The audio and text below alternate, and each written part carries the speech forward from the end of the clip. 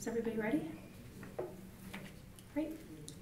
As Marvin Minsky, a world-renowned cognitive scientist at MIT once said, quote, everything, including that which happens in our brains, depends on these and only these, a set of fixed, deterministic laws, end quote. Because I strongly agree with this quote, I must affirm the following resolution. Resolved, science leaves no room for free will.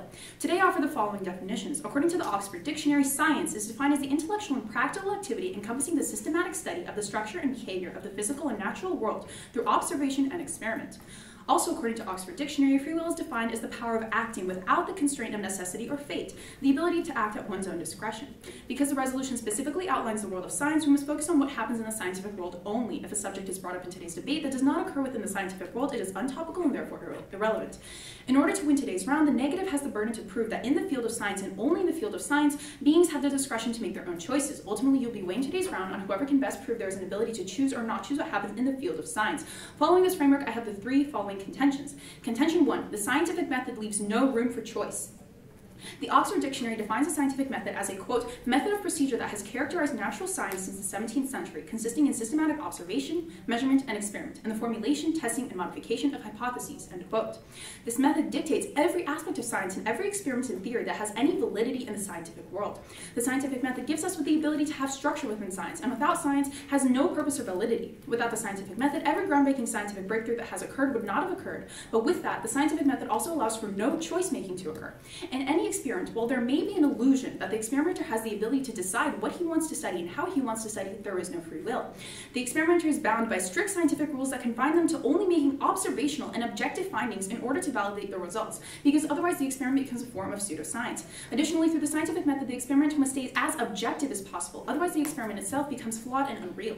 The experimenter is unable to intervene in the experiment in any exercise of choice or free will. They are limited to being passive observers. This means that in the world of science, this strict structure allows for no freedom in due to the objective nature and laws that prohibit any choices to be allowed. Now, contention two. Science predetermines every choice that we can make pertaining to the scientific world, and some point A is M theory. According to the Stephen Hawking Research Foundation, multidimensional theory involves a dimensional universe that is part of the M theory, in which the weak and strong forces and gravity are unified, into which all the string theories belong. Shortly, the multidimensional theory dictates that there are multiple dimensions that are replicates of the very same universe, just with different limiting or non-limiting factors. Additionally, the M theory also umbrellas the multiverse theory, which is defined as a scientific theory that includes a possible infinite amount of realities of parallel universes. This means that in theory, every scenario is happening multiple times, but only in different dimensions and universes. There are literally infinite other things I could have done instead of debating today, and for each infinite outcome, there would exist a universe where that particular event happened. Now imagine how many different choices a person makes in a day, and don't forget that there are about 7 billion people on the Earth. That's a lot of universes. This basically means that we have no choice in what happens because any choice that we will ever supposedly make is actually going to be replicated in another universe with every option available being the result. This theory is widely supported, and science mandates that we have no free will because M theory has already dictated how our multidimensional universe will happen. Now, contention three is that free will is an illusion. Our scientific world and universe is governed by the law of cause and effect. This means that everything that has happened up till now is in fact a direct result of what has happened before it, meaning that we have no ability to make a choice because one large action is in reality what has sent off everything that has happened up until now. Recent studies in neuroscience have concluded that we think is our perception of free will is a sub-working of our brain. It started with the discovery that the vast majority of the processing our brain does is subconscious. We ultimately have no idea why we prefer particular actions over others. It seems as though we are more passive observers of our own brain activity rather agents in changing that activity. We become aware of what our brains are thinking, but don't have any free will to preemptively alter it. Michio Kaku, a professor of theoretical physics based in New York, writes, quote, this means that in some sense, free will is a fake. Decisions are made ahead of time by the brain without the input of consciousness, and then later the brain tries to cover this up, as it wants to do, by claiming that the decision was conscious, end quote. It seems that our entire mental world is the result of preconscious neuronal action, which is beyond our own control. When we think of something, we are only observers becoming aware of our own thoughts, and our own choices are the result of our brain trying to explain our actions and decisions. University of California Davis neuroscientist Jesse Bengson concurs. Through purposeful intentions, desires, and goals drive our decisions in a linear cause and effect kind of way, our finding shows that our decisions are also influenced by neural noise within any given moment. This random firing or noise may even be the carrier upon which our conscious rides, in the same way that radio static is used to carry a radio station. Neuroscience is constantly making progress, and the research has concluded that free will is just an illusion carried out by the brain, and therefore science has eradicated the very thought that free will is real. Therefore, I urge an affirmative ballot today. Thank you. All right.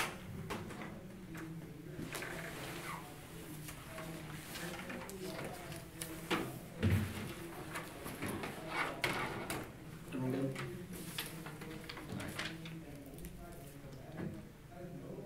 All right. I stand negation of the resolution, which states result. Science leaves no room for free will. First, the Science Council defines science as the pursuit and application of knowledge and understanding of the natural and social world following a systematic methodology based on evidence. Thus, you should only evaluate evaluate her points based on testable and empirical evidence as this is the most concrete method of proving or disproving the resolution. Second, Robert Kane, a University Distinguished Teaching Professor at the University of Texas at Austin, defines free will as when we feel it is up to us when we choose and how we act. And this means we could have chosen or acted otherwise. This up to usness also suggests that the ultimate sources of our actions lie in us and not outside us and factors beyond our control. The burden of proof for the affirmative is that they must prove that decisions we make are ultimately not within us and from outside factors. There are three contentions. Contention one is that experiments that disprove free will are flawed. William Klemm, PhD, senior professor of neuroscience at Texas A&M University, writes on October 17th of 2010 how there are 12 categories of flawed thinking about free will. Issues that many scientists have glossed over include decisions that decisions are not often instantaneous, conscious realization that a decision has been made is delayed from the actual decision, decision making is not the only mental process going on, some willed action, as when first learning to play a musical instrument, must be freely willed because the subconscious mind cannot know ahead of free time what to do, conflicting data and interpretations have been ignored. Scientists do not yet have a good independent brain function measure for the conscious generation of intentions, choices, or decisions. Without such, it is not possible to measure the time at which a willed action occurs. He continues, saying how in the real world, subconscious and conscious minds interact and share duties. Deliberate new learning has to be mediated by free will because subconscious mind has not yet had a chance to learn. Dr. Mayer S. Osdemer gives further explanation as to why these studies are flawed, as these studies provide no proof whatsoever that brain activity could happen without conscious decision taking place. A methodological flaw is that these experiments always involve a test subject fully aware of the choice they are going to make. Simply put, these categories are completely ignored in science today. Experiments to disprove free will over overlook the large majority of these factors, never taking these into account. Studies conducted to prove free will are not accurate as they don't account for many of these 12 categories. Contention two is that complexities or trivialization leave a space for free will. Marco Gleiser, Appleton professor of natural philosophy and professor of physics and astronomy at Dartmouth College, writes on January 15, 2014, how an argument against free will goes that scientists will be able to predict what you will do before you. But such abstraction is mere fantasy. Machines can't measure our mental states in rapid succession if we don't even know how these states emerge. Any measurement that tracks billions of neurons and trillions of synapses in time is far-fetched. There is a risk of trivializing a question so that it can be analyzed quantitatively. Experiments in question here are limited to decisions that are far removed from the truly complex choices we make in our lives. When it comes to the choices we make in life, there is a spectrum of complexity, and this is reflected in the issue of free will. There are two reasons as to prove that science leaves room for free will. The first is that science and machinery can never account for the complexity of our mental states. The other is that in order to do so, would mean trivializing the question of free will, meaning it would remain open to both A, scrutiny, and B, interpretation as to what free will is, clearly leaving room for free will within the realm of science. Contention three is that quantum mechanics leave permanent room. George Musser writes on February 6, 2012, how within quantum mechanics there are four basic arguments for such a connection. One, quantum mechanics is indeterministic. Outcomes of measurements are chosen at random from the slate of possibilities. If quantum effects help conscious choices, they sever the connection between us and the initial conditions of the universe. Two, when we conduct experiments on quantum particles, we exercise our free will. We, for example, we make choices about what precisely to ask of the particles. How those particles respond can depend on whether we really do. Three, if you can predict someone's decisions consistently, you need to take a full brain scan and, and simulate his or her thought processes. Yet quantum physics forbids non-destructive copying of particles, let alone whole brains. If you can never observe the loss of free will, then you should doubt whether it is re ever really lost. Four, quantum physics is time symmetric. So we are as justified in saying that our choice is set the cosmic initial conditions as the other way around. Tom Siegfried also writes on February 26 of 2014, further elaborating how free will requires the ability to make a choice that cannot have been predicted. Quantum physics reduces the possibility of such predictions to probabilities, but nevertheless constrains those choices to obeying equations. Some pose, some actions can't be predicted. The free choice door cracks open a bit. Equations for predicting the future always need the initial conditions as input into the math. The initial conditions of the universe included elements of unpredictability that prevent equations from ever forecasting every single aspect of the future. If so, there would be some freedom in the universe, a certain strong kind of physical unpredictability, lack of determination, even probabilistic determination by knowable external factors. Because of this, there is a re- there are four reasons as to why this leaves no room for free, why science leaves room for free will. The first is because of how quantum mechanics is indeterministic, essentially meaning that because of the severed connection between us and the initial conditions of the universe, free will is not thereby determined. Another reason is because uh, specifically of what Tom Siegfried writes, how when the initial conditions of the universe are set, the input of the math ends up going skewed, as we aren't able to predict the future because of the lack of an input, thereby providing an idea for some future.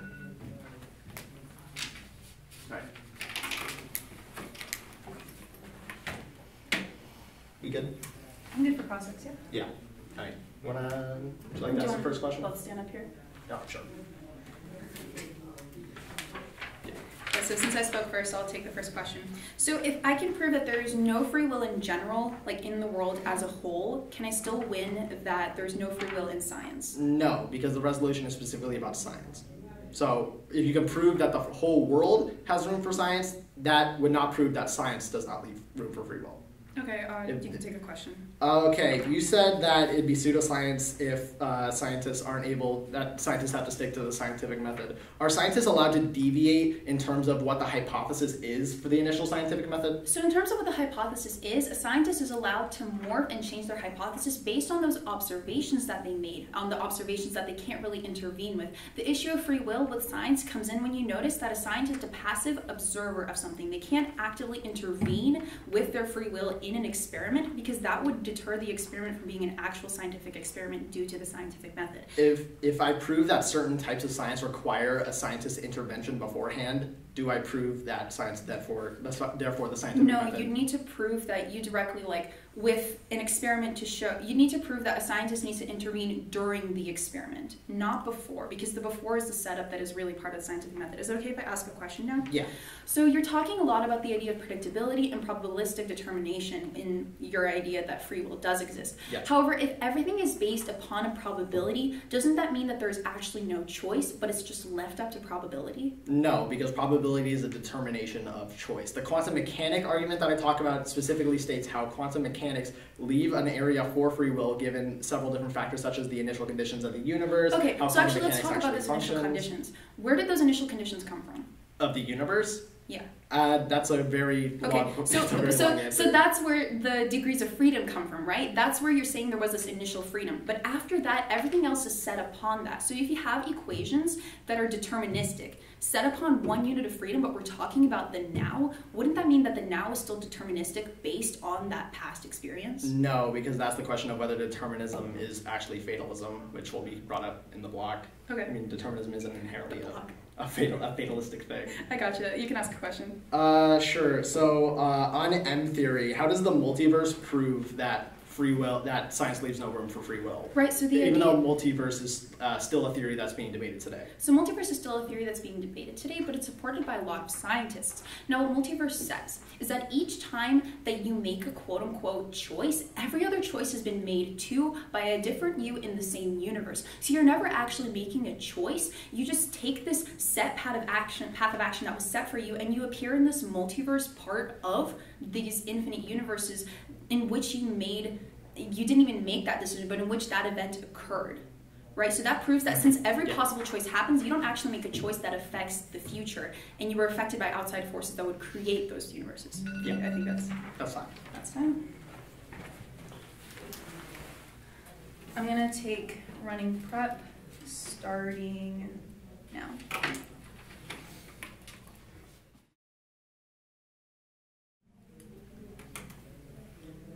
All right, I'm gonna end prep there. Okay. That's one forty taken, Yep. so three twenty left. Okay.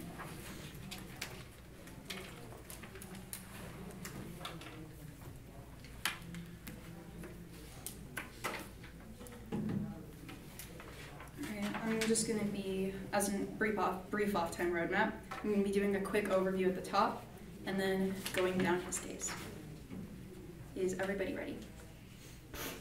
So as an overview, we're sticking to the definition of free will, being the idea that you exert a choice with no outside interferences, with no necessity or fate. So if I prove that fate or necessity have a hand in involving what choices people make in the realm of science, then I win the round. Another reason that I could win the round is if I prove that there is no free will in general, because although this may seem extra topical, if I prove that there is no free will in general, that proves that there is no free will in the world of science. However, you'll see that my contentions specifically apply to science as well, so there's no need to fear that I'm being irrelevant.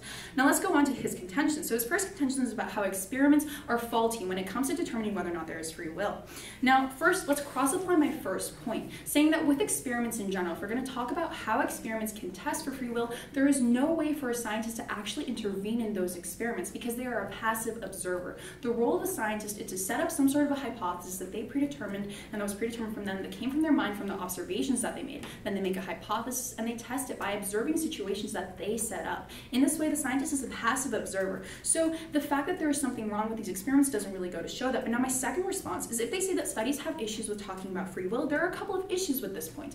They say that then there is no scientific evidence for the existence of free will or against it for free will because they're saying that ultimately studies that conduct things about free will are ultimately flawed. So you can't accept any of my opponent's evidence either because they're saying that inherently studies about free will are flawed. So you have to discount this evidence that is also from 2010 and predates some of the studies that I cite in my case. So you can't weigh this idea of the first contention that says that studies that are talking about free will are inherently flawed. Now, onto their second contention, which was talking about studies and predictability and the idea of the subconscious. Now, one point that they made was that the subconscious has time to learn, or doesn't have time to learn, so the subconscious must be free will, must be exercising its free will and makes a choice to learn something. However, the subconscious learns from outside stimuli. For example, the example that my opponent predicted, that my opponent brought up, was the idea of learning a musical instrument. You learn a musical instrument when somebody outside of you helps you learn a musical instrument. Then your subconscious registers that from an outside force, and you learn how to do that. And that person who learned how to do a musical instrument was also taught by somebody else. There's no free will in this exchange. It is all predetermined by the role of the teacher and you being the student. So this idea of the subconscious really doesn't hold any weight in terms of proving that there is free will. Now, my opponent also talks a lot about this idea of predictability and that if computers and science can't predict something, that means that free will exists. However, there is an issue with computers and science right now. It's simple that the universe is so complex with the idea of M theory, with multiple universes, that some computers and science can't handle the fact that there are so many different possibilities and can't account for the fact that there really is no free will, just infinite choices. So you can't really put any weight on their argument that if something isn't predictable, then it's not free will. For example, you can't really predict my actions, but you can say that because I had some sort of mental quality that forced me to make a decision, that happened even though it wasn't my free will. So predictability doesn't have any tying to free will. Now finally, the point of quantum mechanics, I'm going to counter this with the idea of Schrodinger's cat. So the idea of Schrodinger's cat is if you put a cat in a box with an atomic, uh, something like a radioactive atom, until you open it, it is both alive and dead. This is the idea of quantum mechanics, that it is both at the same time. In this case, this is because there is no direct intervention between the observer and the object being observed. So without that, we can see that there is no free will that the observer can exert on the cat to say that it is dead or alive. So there is no existence of free will in the world of quantum mechanics.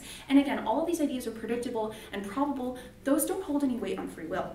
And I'm going to end my rebuttal with a really quick thought experiment. So if you were put into a room, you would do something first right? And then let's say you went back in time and you went into that same room. You would do the same thing over again because that's what you were going to do initially. Like say if I were going to go into a room, the first thing I would do would be to go talk to my friend. If you rolled back time, I would do the same thing.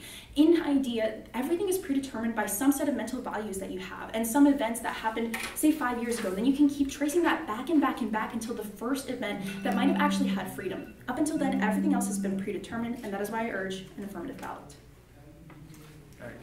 I'm gonna take some prep. You good? Yeah, I'm fine. I don't know if the posters are. I'm gonna take some prep starting now.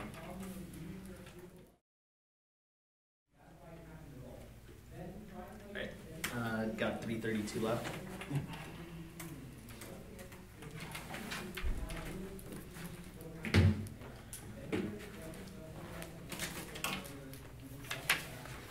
It's gonna be uh, brief on my case then, pro case.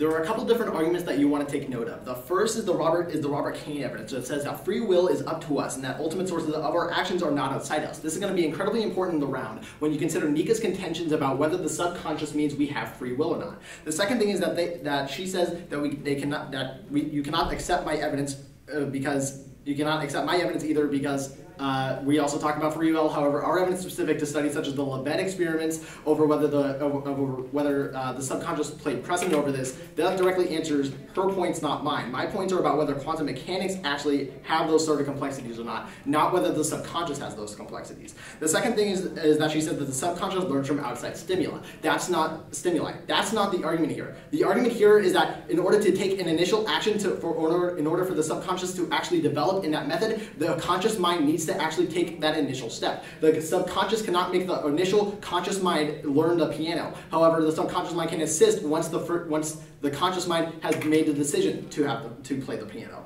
Again, she also says that uh, that uh, quantum mechanics don't have a weight on free will and however, we do, given the fact that quantum mechanics is inherently indeterministic, leaving open a, a possibility of how, how quantum affects how conscious choices because they sever connection between us and the initial conditions of the universe. This is, you're going to want to cross-apply this onto the multiverse point. However, quantum mechanics specifically indicates that when we sever ourselves from the initial conditions of the universe, the multiverse theory has a massive hole in whether or not it is actually initially conditioned to this. This is going to play into her determinism argument, which I'm going to answer here. Robert Kane specifically says that we should not confuse determinism with fatalism. That fatalism is the view that whatever is going to happen is going to happen no matter what we do. However, determinism, determinism alone does not imply such a consequence. What we decide and what we do make a difference in how things turn out, often an enormous difference, even if determinism should be true. A fatalist believes that there is no use in struggling against it, that it will happen however we may strive to prevent it. However, determinism is simply the belief that whatever is going to happen will happen in the end eventually. However, determin- however, free will still leaves that room. Now, let's just go on to the case. Uh, on Nika's first point, she talks about how uh, the scientific method limits choice. However, quantum mechanics show that particles can only respond based on scientific action in free manners. She also said that it's pseudoscience, given, given that a scientist gives no freedom in science due to the fact that due to the fact of hypotheses being needed to test based on observations. However, scientists are able to vary the initial action while still being taken part of the scientific method. Keep in mind that observation is one of the first steps you do in the scientific method. The scientist makes the choice based off those observations. The next point is multiverse theory. I have several answers to this. The first is from uh, George Dvorsky, a contributing editor, who talks about how the entire the idea that the entire universe is quantum mechanical in nature brings up that micro scale of that macro scale event into the picture, upsets the half century's work of work that preceded him. The two different worlds that argued can and must be linked. Ever worked to reconcile the micro and with the macro by making the different by making the case that no arbitrary decision needs to be invoked to delineate the two realms. He considered the universal wave function a mathematical list of every single consideration of a quantum object. Whatever it did was apply Schrodinger's wave function equation to the entire universe, which is now known as the Everett postulate. All its uh, isolated systems evolve according to the Schrodinger equation. However, all of these universes are still connected by initial choices made by people. Multiverse, multiversal effects are still created by the independent free choices that we make now or by other lives make now. While free choices may not, while in a multiversal scale, free choice may not have an existence. In this universe, free choices still matter, which is uh, still connected to the resolutional question of whether science in this universe leaves room for free will. Again, under the will of uh, the will of the universe in the causal in the causal affectional argument, that is just determinism. That is what that argument was talking about. And you should cross apply my first contention because their studies don't take into account active conscious subconscious connections, which means that that and also our free will definition gives us access to this as the subconscious is still within us and still makes a part of that decision.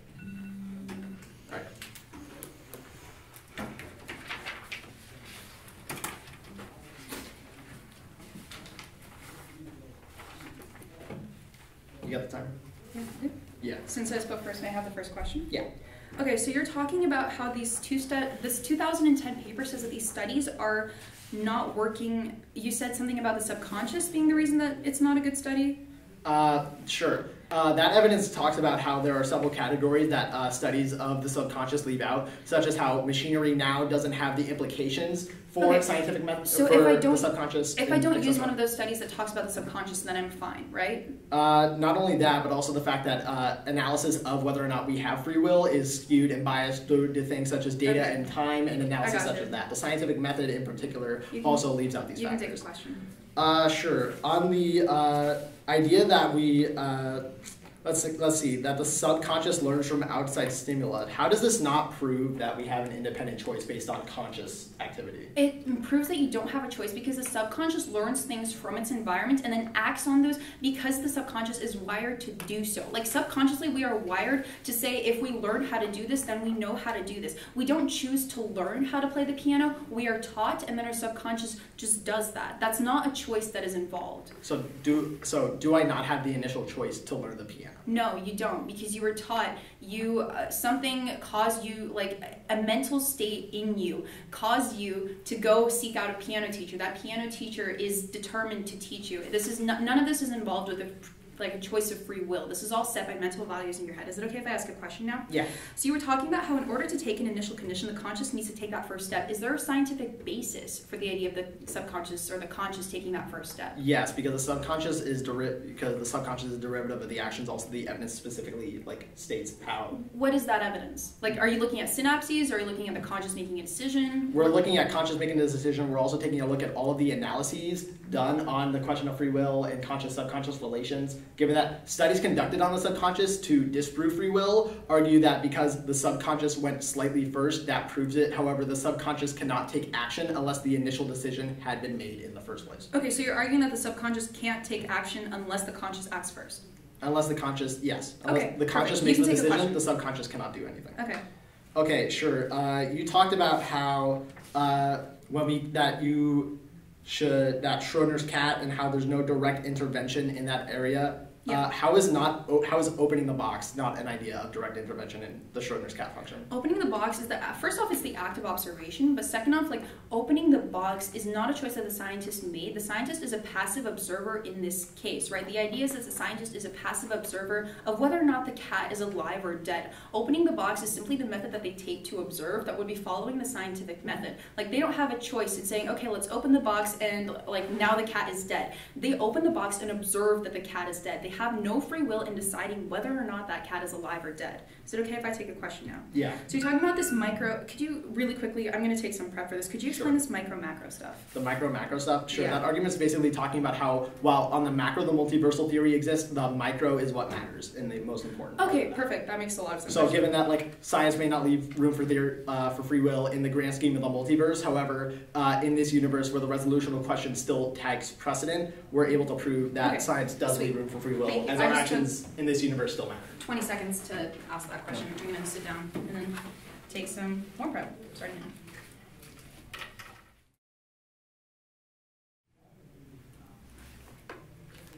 Okay, I'm going to end prep there. I took 145, so I'm saying 1 minute 35 left. I can't do hmm. math. Does that sound all right? 135 left. Okay, perfect. I'm not privy to flex prep, so it's, it's fine. All right. This is a three-minute speech, just checking. Okay. Perfect. As an off-time roadmap, I'm going to be going over a quick overview of the framework, clearing up some line by line, and then going down the voters of today's round. Is everybody ready? Okay, so first, as an overview. So my opponent conceded the framework that if I prove that there exists no free will in the world in general, I also prove that there exists no free will in the world of science. That was conceded, so if I can prove that there's no free will in general, then we, I win the round. Uh, secondly, clearing up some line by line. So there's this whole macro micro idea saying that free will matters in this world and that they're linked. However, for example, Newton's laws operate in this world, right? And they determine what happens a lot. Based on your mass, you behave a certain way when affected by a certain force. Based on your acceleration at the moment, you'll be affected a certain way by a different force affecting you because of your momentum. All these different laws interacting, especially in this universe, because we might not be able to account for the multiverse, show that free will doesn't really exist because we are subject to the laws of science and the laws of matter that conduct how we operate.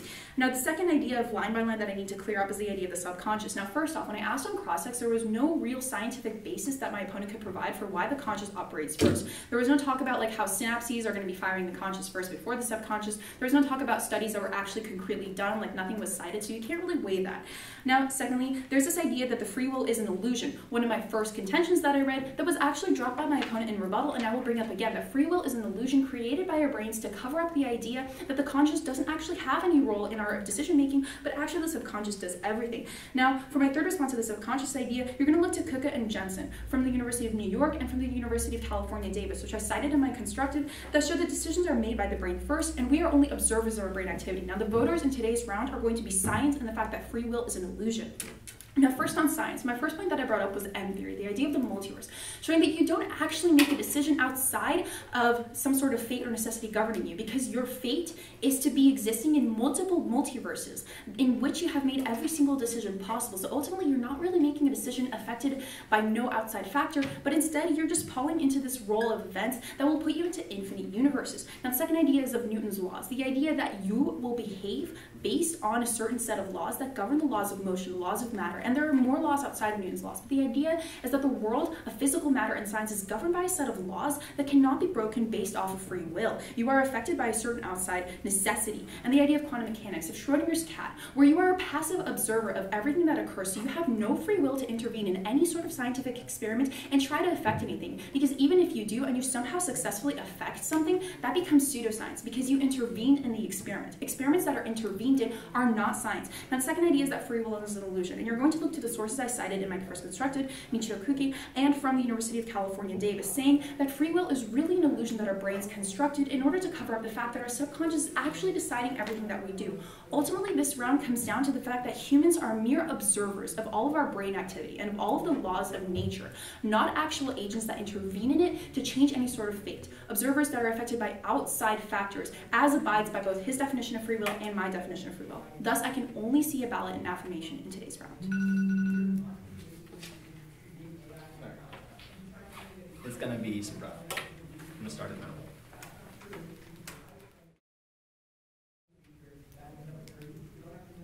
Alright, that's gonna be time. 141.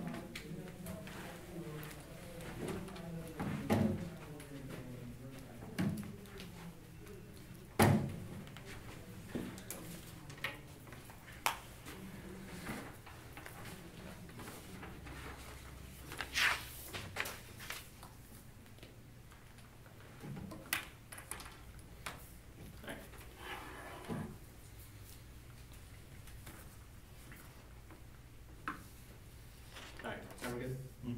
Alright.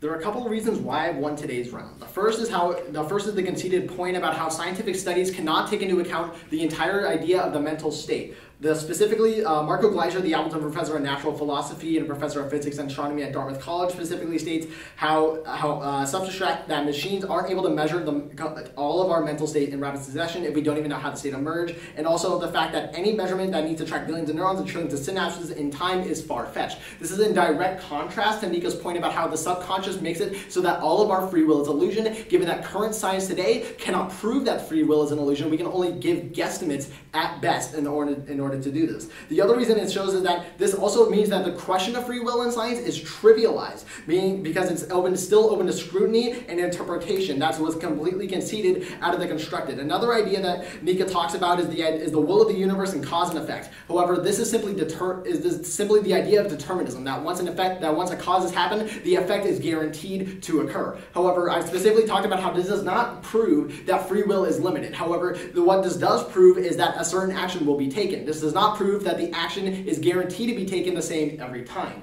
If Nika punches me in the face, there's no real idea as to what I will do. There's a certain effect or probability given in quantum mechanics of what I will do, but there is no single guarantee. Thus, meaning that freedom overall and free will is still not an illusion and is still not guaranteed. The reason why you're going to be voting affirmative, uh, not, not affirmative, you're going to be voting negative today is because the idea of quantum mechanics idea that because the quantum mechanics in itself is inherently indeterministic, meaning that the outcomes of the measurements are chosen at random from a slate of potential possibilities, which means that when we also conduct experiments on, product, on particle, quantum particles, we're able to exercise our free will inherently as we make choices specifically of what precisely to ask of the particles. Keep in mind what I said in cross-ex about how, uh, how given in the scientific, the scientific method, we have observations that take place. We base what we will do and our hypotheses off of those methods. That is still within the scientific method and still takes place. While we aren't able to interfere with, with during the experiment, we're still able to interfere after or before the experiment in order to get in order to test and see what causes, making it not a pseudoscience but rather a key part of the scientific method.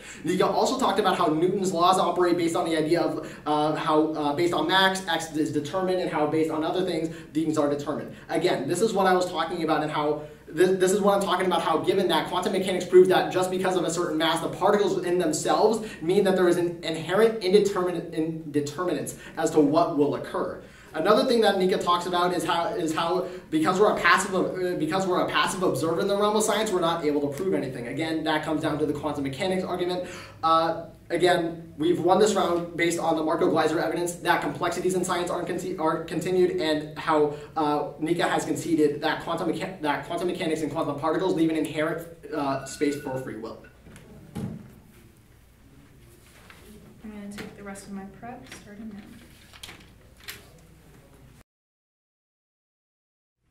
Okay, and I think that that's enough prep. So, step up.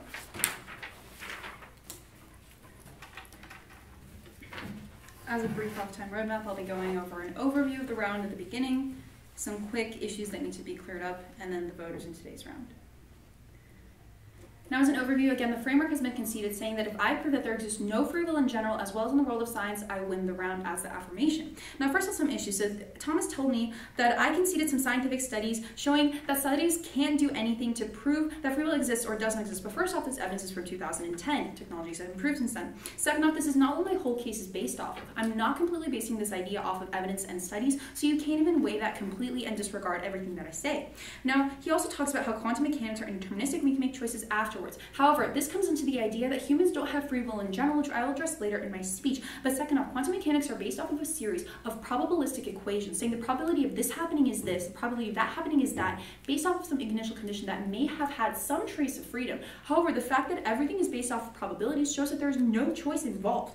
Now, Finally, he was talking about the idea of Newton's laws. However, Newton's laws really only conflict with his side, not with mine.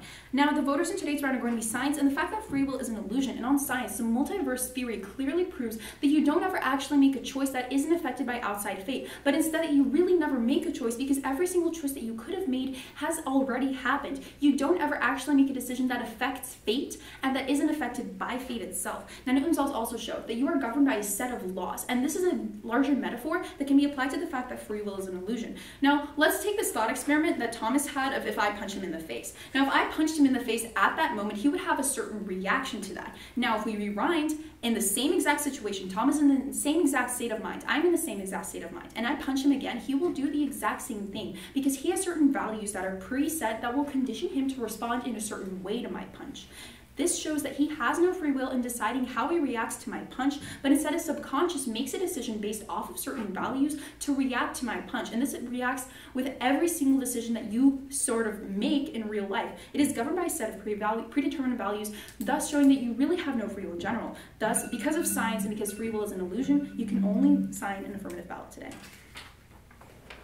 Alright, I'm gonna start my prep. I got 141 starting now.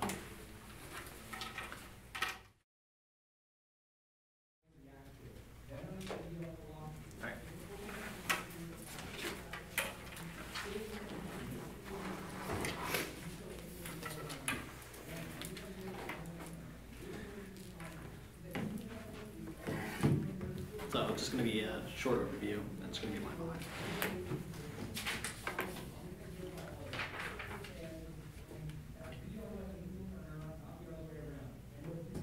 Let me get the timer right. I'm sorry.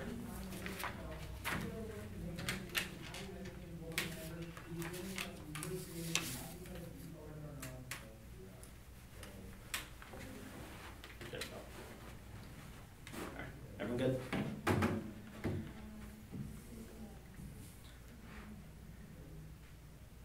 There are a couple reasons as to why I won around today. The first is because of the conceded Gleiser evidence. Nika has one real response to this, and that is that is that is from 2010, and that tech has proved improved. However, no machine today can is still able to is able to track billions of neurons now or to map out the entire mental state because there are questions still remaining about how the mental state exists. This means that that point doesn't even apply as Nika hasn't given a clear example as to how is is still possible. The warrants in the evidence are still applicable. The next is that she says that quantum quantum mechanics is based on probability of the initial condi- conditions, which shows how there's no choice. However, however, the fact that there are probabilities shows that fate is not determined, as there is a range of options that we are able to choose. That is the conceded Musser evidence that talks about how quantum mechanics is inherently indeterministic. While there are a set range of possibilities, that means that I, as a person, still have a choice, meaning thus that science today still leaves room. This also proves that, that free will as a whole is not, that uh, free will as a whole still is still able to exist because of the conceded Gleiser evidence itself. It talks about how that free will is not an illusion based on the idea of the subconscious or the multiverse theory, given that mental processes processes aren't able to be tracked in itself. The, another argument is that of the multiverse theory. However, Dvorsky specifically talks about this in that the multiversal that the multiversal theory is initially linked to a set choice. A set choice that we make is able to be given. Nika also talks about how in a multiversal theory, uh, multiversal theory, if she if we were able to rewind time, I would do the same exact thing. However, quantum mechanics is a direct counter to this idea. As Musser talks specifically about how if you're able to predict someone's decision consistently, that would require an idea of a full brain scan and a simulation of current thought processes. Uh, current thought processes in this universe. However, that is completely against the idea in science of quantum mechanics that we are that that, that forbids the non-destructive copying of a particle. Another idea that was conceded is that how when we conduct experiments, we're able to exercise our free will in the scientific method based on observations and are able to change therefore of in the scientific method.